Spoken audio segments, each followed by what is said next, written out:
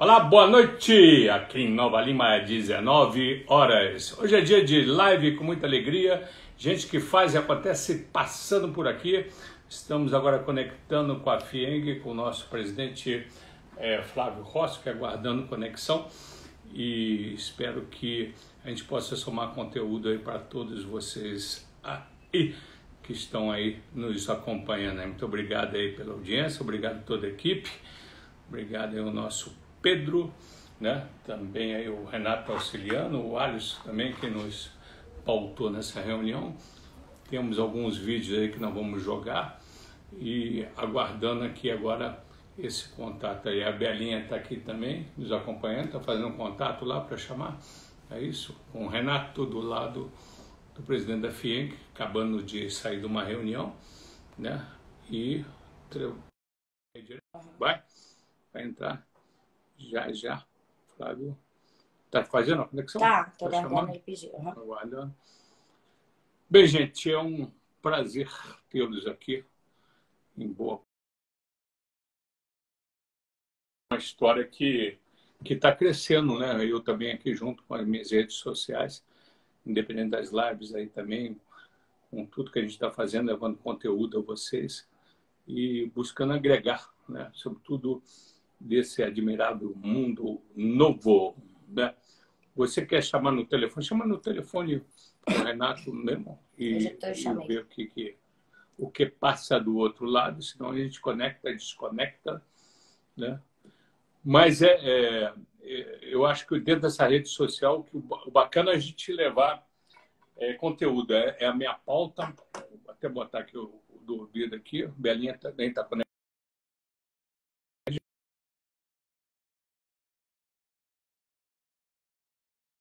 Já estava, o presidente já estava sentado ali aguardando.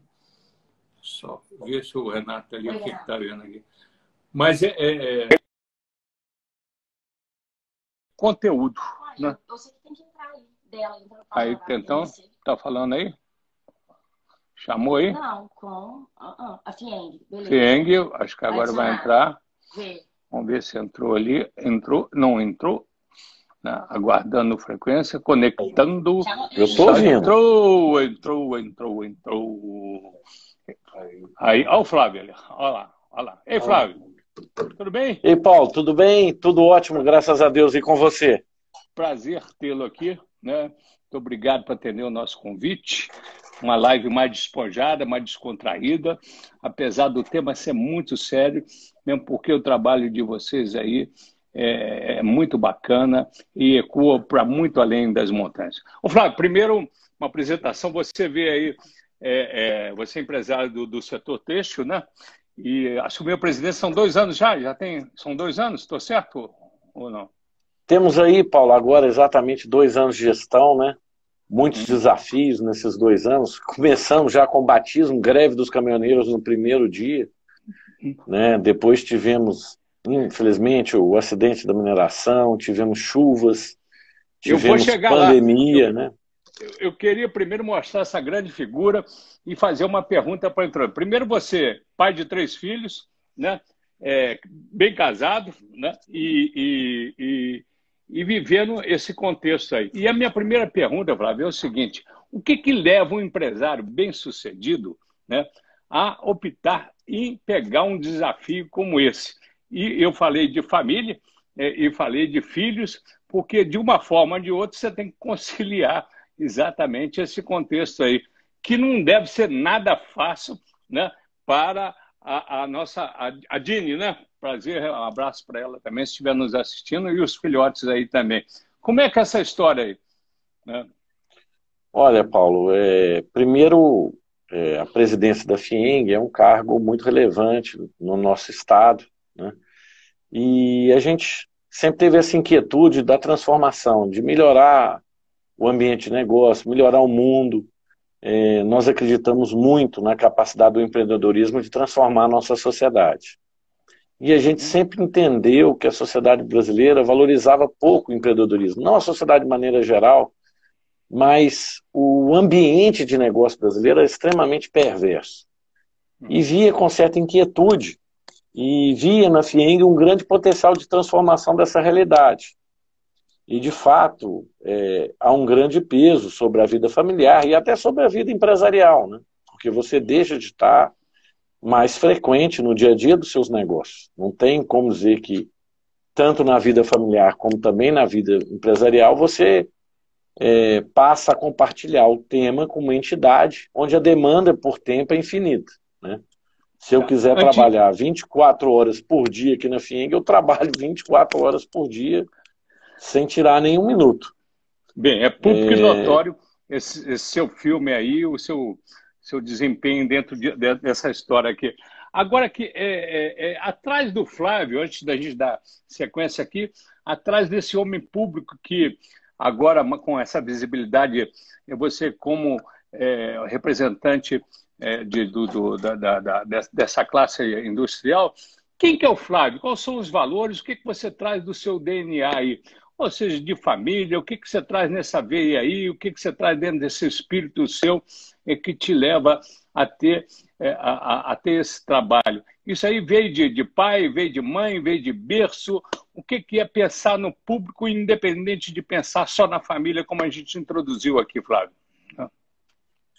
É, na verdade, é, veio de família, acredito eu, está no DNA, né? Meus dois avós foram bastante associativistas, tiveram um papel importantes instituições aqui do estado de Minas Gerais. Eu tive um, um avô por par de pai, que foi fundador do CICI, foi fundador da Fundação Rotária, foi é, vice-presidente de várias entidades, entre elas a Associação Comercial, chegou a ser presidente interino durante um período e militava muito em entidades de classe patronais, né? É, e sempre militou em várias vertentes, foi cônsul também da Dinamarca aqui em Minas Gerais durante muito tempo. E sempre todos oriundos de Belo valores. Horizonte, todos oriundos de Belo Horizonte, você é mineiro de Belo Horizonte, a família toda também? Né? Eu sou, por parte de mãe, a família vem há muito tempo aqui em BH, né? Uhum. É, inclusive tem origem em um dos fundadores de Belo Horizonte, uma parte da família, embora não carregue o sobrenome, é, e de Nova Lima, também, que eram que a família Rosco, e que na verdade é meu, é meu lado materno, embora seja reconhecido por ele, é, que é do pessoal que trabalhou na, na São João del Rey Mining Company, né, que é a antiga Morro Velho, é, ingleses que vieram para cá. Então, por lado de mãe, parte da família vem dos fundadores de BH e a outra parte vem desses ingleses que vieram no final do século no início do século XIX aqui para Minas Gerais explorar ouro aqui. É, Como eu estou falando de Nova Lima, suas bases aqui. Como eu estou falando de Nova Lima, eu já estou vendo né, de saudação aqui do povo aqui de, de Nova Lima aqui ah, o Flávio é um é, filho indireto, parece que você mora aqui na região aqui também. Não é? é eu, hoje eu moro em Nova Lima, então voltei às origens. Né? E por parte de pai, é, meu avô é, nasceu no, na divisa entre Minas e Rio, mas ele estudou no Rio de Janeiro e depois ele veio para Minas Gerais para constituir seus negócios aqui. Então, e que era casado com uma carioca também. E eles dois se erradicaram aqui em Minas Gerais. Então, é, eu sou filho de dois belo-horizontinos, neto, em parte, de dois belo-horizontinos, e tenho bisavós belo-horizontinos, que é uma coisa muito rara. Né? É, mas, por outra parte, descendente do, do Rio de Janeiro, da divisa ali entre Minas e Rio. Bem, Fieng, qual que é a sua missão? Você, você é um missionário, literalmente, para agarrar essa, a, a FIENG, que eu queria que você contextualizasse o que, que representa. A gente está falando para muita gente que talvez não conheça, dentro do seu próprio círculo aí, é comum, eu como jornalista aqui também, mas é, há, quem não entenda o que, que significa, o que, que ela representa hoje de diversos segmentos. Hoje, o que, que é a FIENG, sem falar aí é, é, dos S's aí que estão aí colados aí também, fazendo um trabalho social bacana em tudo. Né? É um pouquinho que eu queria que você falasse um pouquinho para o leigo, independente da, do, do, do, do que você já tem aí é, é, é, já tem norteado aí dentro das entrevistas que você dá aí no dia a dia? Aí, né? É, a FIENG, o objetivo dela é representar o segmento industrial, né? Ela representa hoje 56 mil indústrias no estado de Minas Gerais. Ela faz o trabalho de defesa de interesse desse, de, dessa comunidade. E a gente ampliou isso quando a gente chegou aqui. A gente entende que os interesses da FIENG são os interesses da sociedade. Você me pergunta, mas Flávio, por quê? Porque a indústria é investimento imobilizado, é investimento de longo prazo. Não tem como a indústria ir bem se a sociedade onde ela está instalada vai mal. Se tem problema de segurança, afeta a indústria. Se tem problema de educação, vai afetar a qualidade dos trabalhadores da indústria. Se tem problema de nível de renda, afeta os consumidores daquela indústria. Se tem problema de saúde, os funcionários que trabalham lá vão ter problema de saúde. Se tem problema de infraestrutura, vai ter problema no escoamento e no custo do escoamento da produção. Ou seja, a indústria, diferente de outros setores, ela casa com o município onde ela se instala e com o estado onde ela se instala. Ela não pode simplesmente, ah, ficou ruim aqui, ela muda. Alguns setores têm essa possibilidade. Indústria não. Depois você constitui uma fábrica em algum lugar, você está casado com aquele local e mais, você vira o agente desenvolvedor daquele local. Eu poderia citar aqui inúmeras cidades mineiras que cresceram ao redor de indústrias. Então a nossa percepção é, não, não temos que defender o interesse da indústria, nós temos que defender o interesse da sociedade, porque ele está diretamente atrelado com a indústria. E, obviamente, dentro desse espectro, a gente dá uma ênfase na defesa do setor produtivo.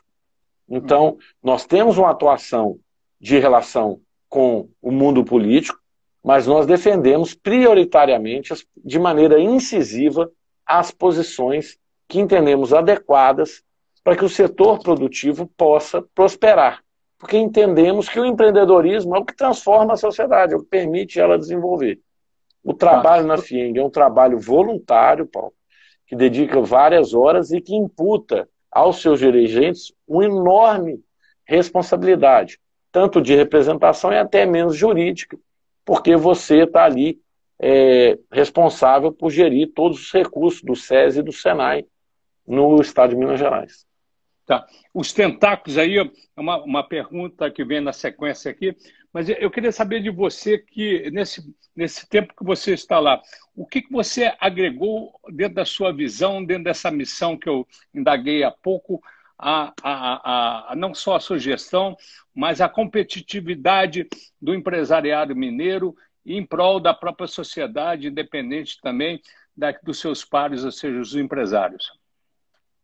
É, a FIENG está fazendo uma ampla ação de defesa da melhoria do ambiente de negócio. Uhum. Estamos contribuindo em muito para as medidas do governo federal e também para medidas do governo estadual. Já participamos ativamente de várias mudanças legais e estamos trabalhando em todas as outras que estão aí vigentes. Só para te dar uma ideia, na pandemia agora, das 154 medidas implementadas pelo governo federal, a FIENG contribuiu com 60. Né? Ou seja, quase 40% de tudo que foi feito nasceu de sugestões nossas, claro que acatadas e trabalhadas pela equipe econômica, mas a gente contribuiu com essas demandas. No governo do Estado, as nossas contribuições aqui, por exemplo, ao, ao, ao programa é, de desburocratização do Estado, a gente já, já deu quase 500 contribuições. Agora é o programa de desburocratização do governo federal, a gente deu 200. Tivemos um depoimento de um secretário de desburocratização do governo, que foi, na carreira pública dele, o melhor documento já recebido, foi o documento sugestões da FIEM, que amarrava todas as soluções. Então já conseguimos muitas mudanças positivas, né? Para a melhoria do ambiente de negócio. E o que, que é melhoria do ambiente de negócio? Significa para o povo, para a população, para quem está escutando. Significa que se o ambiente de negócio estiver melhor, que as empresas vão empreender, que elas vão crescer, que elas vão prosperar. Ao prosperar, a tendência delas é contratar, pagar melhores salários e oferecer produtos de melhor qualidade a menor custo. Ou seja, o consumidor ganha, os, os, o trabalhador ganha, todos ganham. Quando empreender é fácil, o desenvolvimento da sociedade é quase que assegurado. Infelizmente, o Brasil, ao longo dos anos, das décadas que foram passando, é um Estado extremamente burocrata. que penaliza aquele que quer empreender, com uma burocracia estatal que impede muitas vezes que empreendimentos de sucesso ocorram. Por que, que isso ocorre? Porque no Brasil o Estado desconfia do cidadão, enquanto que em vários países desenvolvidos, como os Estados Unidos, o cidadão desconfia do Estado. Ora, quando o Estado desconfia do cidadão, ele vai te exigir firma reconhecida para você provar que você é você mesmo. Tá. E vai te exigir um monte de laudo, declarações, afirmações, pareceres técnicos para você afirmar algo óbvio. E vai criar um monte de obstáculos, que é a burocracia brasileira, que todo cidadão é vítima dela. E é essa burocracia que a gente quer matar de morte. Matar de morte é um absurdo matar falar isso aqui, desculpa. Que a gente quer matar de vez, Sim. definitivamente, é, no nosso Estado. E essa é a nossa missão: é tornar o ato de empreender mais fácil para que as pessoas possam prosperar, pagar mais tributos, empregar mais e crescer e enriquecer o Brasil. O, o Flávio, você falou em pandemia, está na sequência aqui da, da nossa pauta, até agradeço a sua assessoria, o Pedro, o Alisson aí também, que me deu aqui o, o trabalho de vocês são páginas e mais páginas aqui que a gente é, não haveria tempo hábil aqui de, de fazer uma leitura desse, desse trabalho bacana de vocês. Obrigado a eles aqui. Mas você, falando em pandemia, você foi pego, você pessoalmente foi vítima aí exatamente do coronavírus dentro da logo da largada dele aqui no Brasil, né? Eu queria saber dessa sua experiência é, é, pessoal, dessa vivência que você teve né, e, e, que saiu rápido, aí você estava acompanhando até o nosso presidente no exterior, né, mas o, de que forma que essa vivência sua é, também te deu aí um norte para que você é, desse também é, diretrizes, desse horizonte para aqueles que, que estão ah, ligados direto ou indiretamente, ou seja, toda a sociedade indiretamente aí também com tentáculo aí, a, através dessa expectativa da FIENG. A experiência pessoal e a experiência empresarial dentro da sua leitura. É, a, a, experiência, a experiência pessoal ela impacta a gente, não tem como você dissociar. No meu caso, eu tive a incidência da doença lá logo no início, tinha pouca informação naquele momento né, sobre a doença, até sobre os os medicamentos que podia, poderiam atenuar os seus efeitos. É, mas eu, felizmente, eu não tive nenhum sintoma grave, eu não tive nenhum sintoma. Eu só identifiquei que eu estava com a doença porque vários da comitiva lá presidencial está, estavam, pegaram e eu tive que fazer o teste, e aí deu positivo. A minha experiência pessoal, ela pesou muito na percepção minha do impacto nas pessoas, né? Como eu fui aí um dos primeiros casos no Brasil, né? E eu pude ver o pânico das pessoas, né? E até a falta de sensibilidade, eventualmente, com o outro que estava passando por aquele momento específico. Né? Ao mesmo tempo, várias pessoas deram um apoio. E, e ali, naquele início, a gente via que havia um pânico generalizado. Né? Eu me isolei, assim como a minha família, e ninguém pegou, ninguém ao meu redor pegou, exceto de uma pessoa que trabalha comigo.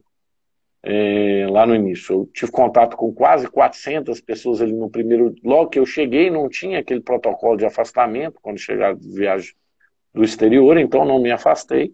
Eu me afastei quando deu os primeiros casos da comitiva. E eu encontrei com quase 400 pessoas em três dias após a volta lá dos Estados Unidos. E felizmente só uma pessoa pegou. E eu pude ver que talvez o vírus não tinha aquela propagação que inicialmente se falava.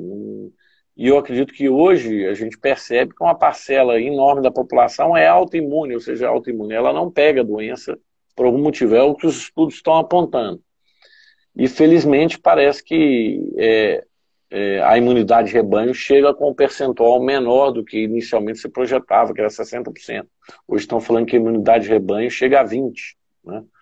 É, e isso vai ser muito importante para o day after da pandemia. Né? A minha experiência pessoal, portanto, foi bastante leve.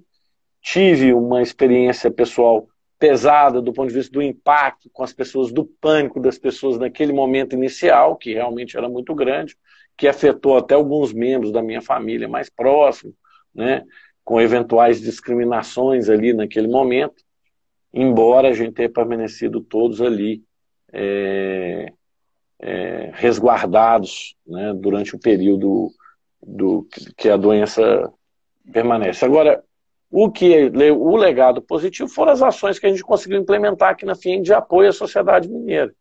Essas foram ações muito expressivas, que eu tenho muito orgulho do, da diretoria que trabalhou comigo nessa área, das empresas que apoiaram. Nós arrecadamos diretamente para a FIEM quase 50 milhões de reais. Nós fizemos e ajudamos a montar três hospitais, né? o Mário Pena, a gente reativou 60 leitos, né? e a FIEM custeou o funcionamento desses 60 leitos por 90 dias além de reformar todo o hospital, doou esses leitos para a sociedade. É, nós ajudamos o governo do estado a construir o, o hospital de campanha, fomos o, o, grande contribuinte, o grande doador na construção e também na organização do próprio hospital de campanha. Fizemos também o hospital do Mater Dei, que felizmente não precisou ser utilizado. 180 leitos CTI entregues, reformados, investimos lá quase 14 milhões de reais que felizmente não precisou, porque a pandemia não chegou a tanto, e que agora esses leitos CTI serão doados para hospitais do interior de maneira definitiva. Né? Não são leitos só para Covid, são leitos completos. E o Hospital Mater Dei cedeu o espaço lá de Betim, três andares, que foi onde a gente fez esse investimento. Consertamos respiradores no início da pandemia, né? mais de 300, é, o Senai consertou de maneira gratuita para qualquer hospital do Brasil que mandou o respirador para a gente consertar. Além disso, tivemos apoio das empresas nesse processo, da Fiat e da Celor, que também nos ajudaram a consertar, mas o Senai foi o, o principal é, elemento nesse trabalho, que consertou mais respiradores e treinou a equipe dessas duas empresas.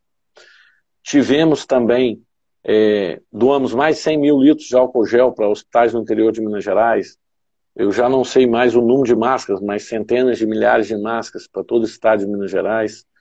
Incentivamos o setor produtivo a produzir máscaras, chegando a milhões de unidades, né, do dia para a noite, máscaras que não eram produzidas. É, fizemos também, desenvolvemos os respiradores da Tacom, que agora estamos doando 1.600 para todo o estado de Minas Gerais. Quer dizer, acredito que somos case no mundo, uma entidade clássica se envolveu e doou desta maneira, né? 1.600 respiradores. Fizemos túneis de desinfecção que estão instalados em hospitais e também no transporte público de Belo Horizonte. Nós já instalamos os primeiros túneis de desinfecção. Estamos trabalhando agora na vacina, né? A FIEM deve assinar um convênio com um grande laboratório norte-americano para que as primeiras 50 milhões de vacinas é, venham para o Brasil deste laboratório, com mais um trabalho, isso não está certo ainda, mas está caminhando bem nessa direção, então vamos ser inovadores. Agora estamos estudando também uma solução de soro, né? Então, eu acredito que no final dessa pandemia vamos ser reconhecidos aí, talvez, como a entidade do mundo que mais contribuiu para erradicar e para a sociedade onde ela está inserida de apoio à pandemia. Além disso, as indústrias que doaram esses recursos e que deram apoio tecnológico também se engajaram. Nós já temos investimentos de indústrias ligadas à FIEM, que somam mais de um bilhão de reais no combate à pandemia. Né? Boa parte desse trabalho coordenado pela FIENG, mas ações nas localidades onde as empresas é, atuam. Né? Então a FIENG recebeu 50 milhões de doação direta, além do que ela investiu do seu caixa próprio, né? através das suas entidades, mas ela também coordenou ações junto às empresas sociais. Então foram centenas de leitos reformados em todo o estado por indústrias, foram centenas de testes rápidos, a própria FINIM comprou é, está fazendo centenas de milhares de testes aqui no nosso estado, é, mas as indústrias também fizeram, as indústrias também compraram respiradores, as indústrias também mobilizaram suas bases para dar atendimento a região. Então, eu acredito que temos muito orgulho do trabalho que fizemos na pandemia e das posições que tomamos. Naquele momento crítico de pânico, é, tendemos a abafar o pânico, trabalhamos pela MP 936 de maneira incisiva junto ao Congresso Nacional, o governo federal reconhece esse feito. Assinamos um acordo que manteve 400 mil empregos na indústria de Minas Gerais, não um acordo, mas vários acordos, ou seja, mantivemos as indústrias, esses empregos são importantíssimos, porque aquela pessoa que perde emprego na pandemia, ela pega de um norte, né? ela não tem perspectiva. Então a manutenção do emprego foi vista por nós com muito otimismo, e já no mês de julho vamos ter uma retomada do emprego industrial. Em junho nós só perdemos 500 empregos na indústria mineira. Fruto desse trabalho, conseguimos junto ao governador que a indústria mineira fosse declarada essencial logo no início da pandemia. Portanto, não tivemos na casa de ninguém falta de água, luz, nem de produtos alimentícios, nem de produtos industriais, porque a indústria pôde funcionar. E funcionou, Paulo, com segurança. Levamos os protocolos de segurança. Nós não temos casos de grande incidência de Covid em nenhuma indústria do estado de Minas Gerais. Nem nas frigoríficas que teriam trabalhando ali com baixas temperaturas, onde o vírus seria mais propício. Por quê? Porque treinamos, divulgamos, e tomamos medidas preventivas de distanciamento, e inclusive educamos os trabalhadores. E, pasme, a maioria dos trabalhadores, ao responder pesquisa, dizem que se sentiam mais seguros na indústria trabalhando do que em casa, resguardados do Covid. Porque na indústria tinha todo um aparato de proteção, além de conscientização e educação para o seu trabalhador. Então, temos sim, e acredito que deixamos um legado na pandemia, estamos muito orgulhosos. Eu estou orgulhoso da atuação da indústria, que apesar das dificuldades, contribuiu com a sociedade, da contribuição dos empregados industriais que não tiveram medo, foram trabalhar e mantiveram a nossa sociedade funcionando e sobrevivendo, e também dos industriais que colaboraram. Flávio, é, é, a nossa pauta aqui é, antes de passar para ela, porque o trabalho bonito que vocês fizeram também passou por Brumadinho, né, que não pode, né, isso também foi aí um carimbo bacana de vocês, como também nas chuvas aí do final do ano de Belo Horizonte também, que vocês tiveram uma, uma ação pronta em termos estar lado a lado aí da sociedade. Mas antes de passar para esse item aqui, é, você acha que houve um retardamento de, de governos, quer seja prefeitura ou do Estado, ou, ou, ou do próprio governo federal. É, houve alguns erros quando, quando ele foi. É, o Supremo ele, ele, otorgou, é, é, é ele, ele otorgou aos municípios essa decisão é, lateral de, de, de conduzir a, a, história. Isso retardou o nosso desenvolvimento, retardou a, a possibilidade de, de, de, de, de ter menos desemprego num todo? Você tem uma visão crítica é, do que passou ou que ainda está passando? É, é, a grosso modo, eu digo porque não dá para detalhar aqui, não é o caso também de apontar dedo num todo, mas poderia ter sido melhor, para ser mais sintético aqui? Eu acredito, Paulo, que no início da pandemia seria natural os equívocos. Né? Afinal de contas, havia pouca informação a respeito da doença e não havia grande experiência. E é claro que seria necessário investimentos. Acredito que o governo federal acertou muito nas medidas econômicas. Né? SMP 936 foi um gol de placa, porque ela manteve 12 milhões de pessoas empregadas no Brasil. O Brasil só perdeu um milhão e meio de empregos na pandemia. Os Estados Unidos perdeu 30 milhões. Eles têm o dobro, quase, da, menos que o dobro da nossa população, né? tem 60% a mais apenas. E perderam 15 vezes mais, 20 vezes mais empregos que o Brasil. Ou seja, acertamos nesse ponto, a gente tem que reconhecer. Acertamos também na medida anticíclica é, daquela contribuição do Corona Voucher, estão falando dos 600 reais para aqueles de mais baixa renda que estavam na informalidade. Com isso, a retomada da economia se dá mais rápido. A gente já vê uma ampla recuperação de vários setores econômicos. Né? É, então, acredito que as medidas econômicas foram muito positivas. O governo suspendeu o pagamento de tributos, é, fez uma série de iniciativas bastante positivas. O governo do Estado, para mim, acertou com Minas Consciente, acertou modulando e dando aos prefeitos que muitas vezes não têm estrutura um programa para eles se ampararem nele. acertou ao declarar a indústria essencial. A indústria mineira vai reagir melhor que o resto da indústria brasileira, porque em nenhum momento ela teve ali é, uma faca no pescoço para o seu encerramento. É, acertou também na condução e nos investimentos que foram feitos é, nos casos de saúde. Você vê que o vírus em Minas chegou mais tarde e também, é, quando chegou, em nenhum momento nós tivemos excesso de capacidade. Né? Além disso, o governo de Minas gastou bem, gastou pouco, é, comparado com outros estados, inclusive por lei, porque ele contou com a ajuda da iniciativa privada. Então, esse é um papel da FIENG. Agora, acredito que muitos municípios se equivocaram, especialmente aqueles que mantiveram as medidas de restrição draconianas é, por muito tempo. O isolamento social total e completo, ele serve para que o poder público se prepare, não para que a sociedade fique 150 dias fechada. Né? Isso tem consequências sobre o cidadão enormes, psicológicas, sobre a atividade econômica da região drásticas, né? sobre até o efeito de saúde pública. Quer dizer, as pessoas ficam aterrorizadas e não vão no hospital para fazer, por exemplo, medidas de prevenção ou até mesmo casos agudos. Nós tivemos em Belo Horizonte casos de pacientes com tratamento de câncer que não deixar de comparecer ao hospital para fazer quimioterapia. Quase 30%, em um exemplo que eu tenho. É, quer dizer, o pânico foi muito grande, ele foi estendido durante muito tempo. Isso acho que foi um equívoco muito grande, é, baseado em pesquisas de opinião pública, não baseado em, em dados técnicos. Né? E aí nós tivemos alguns pontos que eu considero que poderiam ser corrigidos.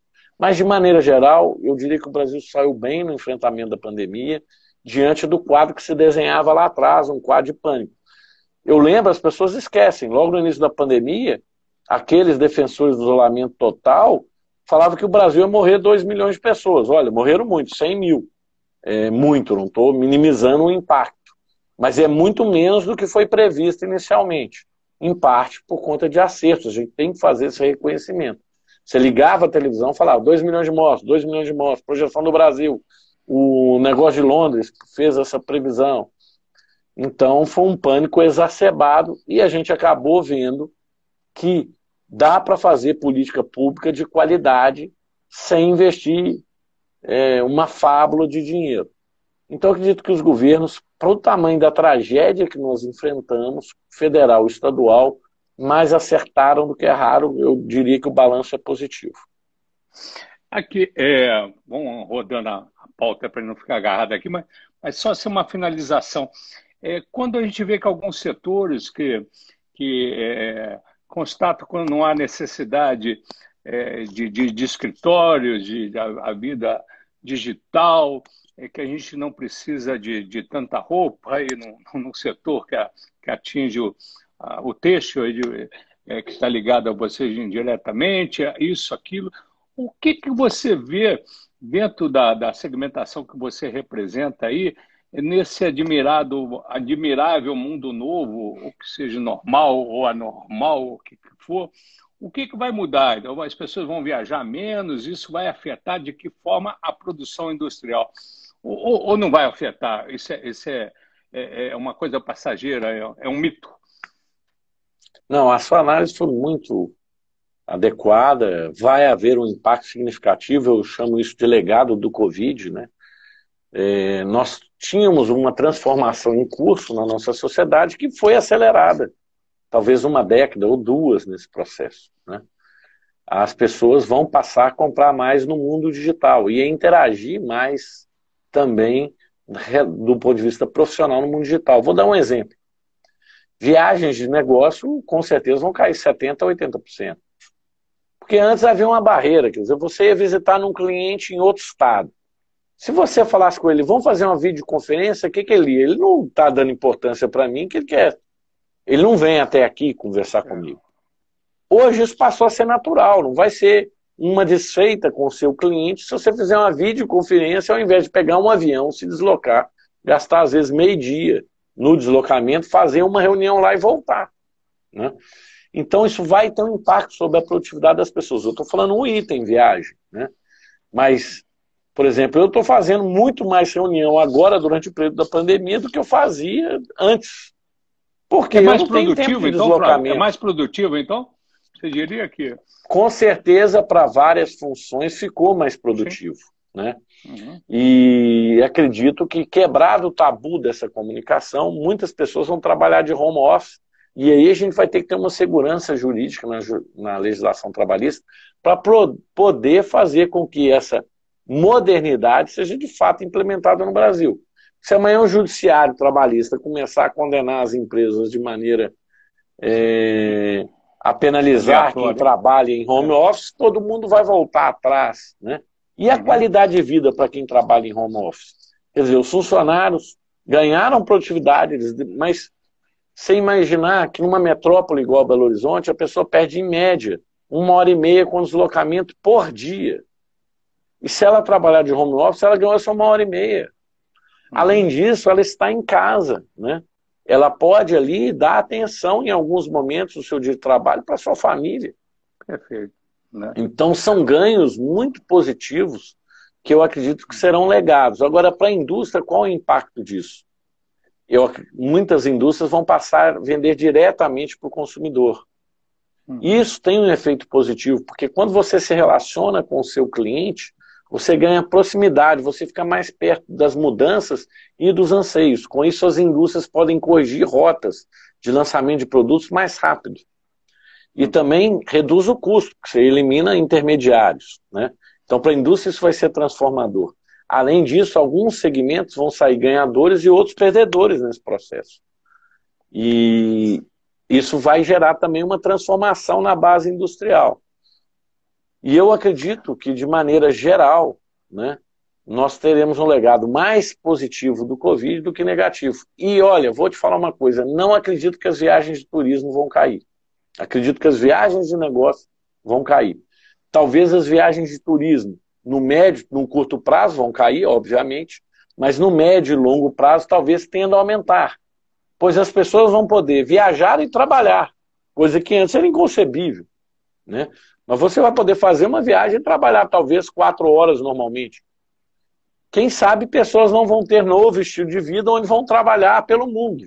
Né? É algo que, com certeza, algumas pessoas vão adotar esse, essa nova mecanismo. Porque hoje não há barreira. Você pode estar em outro país trabalhando aqui com os mecanismos que existem de comunicação. Então, Flávio, essa é a revolução que. Uhum. O Flávio, se eu fosse estender aqui os feitos de vocês, que, que é muito orgulho de todos nós mineiros e brasileiros, aí levando o nosso produto, o nosso nome é Além das Montanhas, falar das startups de vocês, o trabalho de integração de vocês com o Poder Legislativo, né? você ainda há pouco estava com deputados aí também, em prol do meio ambiente, eu citei aqui Brumadinho, eu citei aqui o trabalho que vocês fizeram aí também quando das enchentes, mas, enfim, é uma, é, é, é uma enormidade aí de, de, de, de, de ações que, que mostram exatamente o espírito que você está é, é, carimbando aí na sua gestão. Eu queria deixar a sua palavra final dentro desse contexto aí, dentro dessas palavras aqui, que você gentilmente é, compartilhou aqui com os nossos seguidores e também os seguidores aí, de maneira geral, do Instagram. Eu queria, Paulo, na minha palavra final, fazer um agradecimento. Agradecer a todas as pessoas que estão envolvidas nesses dois anos de gestão, que empenharam, porque isso não é fruto do trabalho de uma pessoa, isso é fruto do trabalho de um conjunto de pessoas. Então, gostaria de nomear aqui a diretoria da FIENG, que tem me dado um apoio surreal nesse momento, durante os dois anos de transformação que a gente fez na casa, fizemos uma transformação muito grande na casa. Quero agradecer os colaboradores do Sistema FIEM que entenderam a nossa proposta e mudaram ela. Com isso, nós já estamos aí com mais de 200 mil alunos né, em todo o estado de Minas Gerais. FIEM tem 200 unidades no nosso estado, desempenhando um papel, e ele não seria possível sem os colaboradores do nosso sistema. Os presidentes sindicatos que representam os setores industriais que dão contribuições o tempo inteiro, engajam nas missões que a gente estabelece, ou que eles estabelecem para nós, mas quando estabelecem, ajudam, nos ajudam a executar. Então, quero fazer esse agradecimento. Sem essas pessoas, isso não seria possível. Quero agradecer a minha família, que compreende a minha dedicação aqui. Quero agradecer os meus sócios, que são meus irmãos também na minha, na minha empresa, e também meus colaboradores lá, que me permitem dedicar o tempo aqui para o todo, para a nossa sociedade. Enfim, todos aqueles que têm contribuído para o crescimento da nossa sociedade. Quero agradecer profundamente os membros do executivo do governo, que são sempre sensíveis às pautas de bom senso que a FIENG leva, e creio que a gente leve mais pautas de bom senso do que não, é, acredito muito na qualidade das nossas pautas.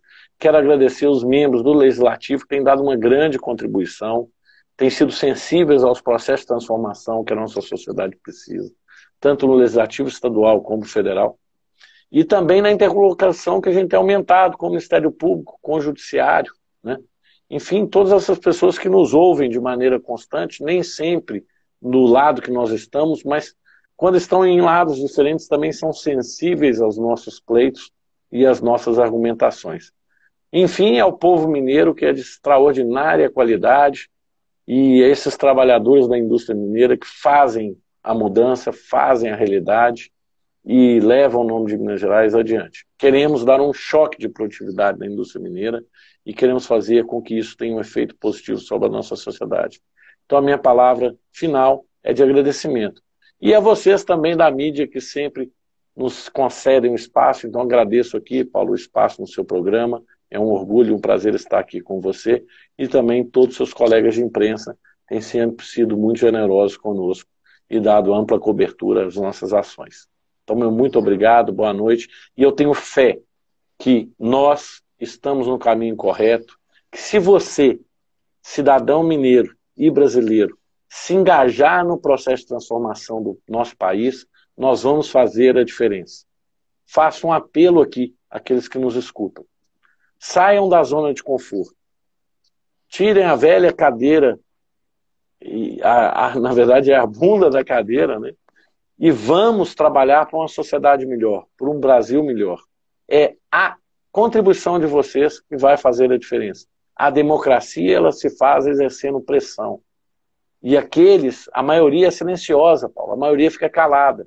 E são só os grupos que exercem poder ou interesse, tem interesse específico, que exercem pressão. Nós temos que fazer que a sociedade brasileira se mobilize pela transformação da nossa sociedade, porque ela é a grande beneficiada desse processo. Então, peço o engajamento político de todos. A política, ela é nobre e merece ser exercitada pela população brasileira. Então, vamos exercitar a nossa capacidade política, pois é ela que vai transformar a nossa realidade. Muito obrigado. Claro. Muito obrigado. É, acabando agora, a gente vai para o IGTV e depois também essa entrevista vai para o YouTube. Obrigado a todos, obrigado pelas suas palavras, pelos conselhos. Fique com Deus, saúde a todos aí, obrigados a todos que nos assistiram aí. abraço aí. Tchau, tchau. Obrigado. grande abraço, muito obrigado. Obrigado. Do lado.